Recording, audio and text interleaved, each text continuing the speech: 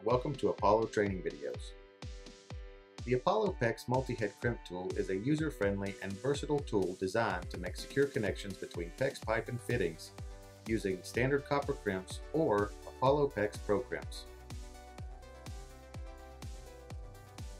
With spring-loaded interchangeable jaws for sizes from 3 8 up to 1 inch, the Apollo PEX multi-head crimp tool is ideal for the installation of any PEX piping system.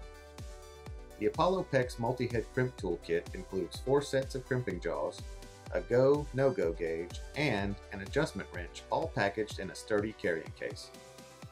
Making a connection is easy. Start by making sure that the pipe is cut squarely. Slide the crimp ring onto the pipe and insert the desired PEX fitting into the pipe.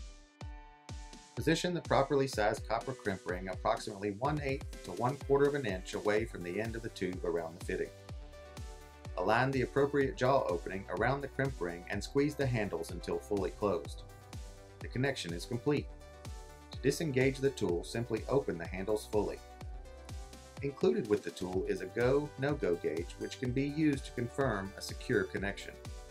Place the go, no-go gauge such that the edges of the gauge touch the indentations on the crimp left by the pressing action of the tool.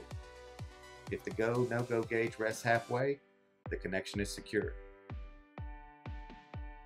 Changing the jaws on an Apollo PEX multi-head crimp tool is an easy process.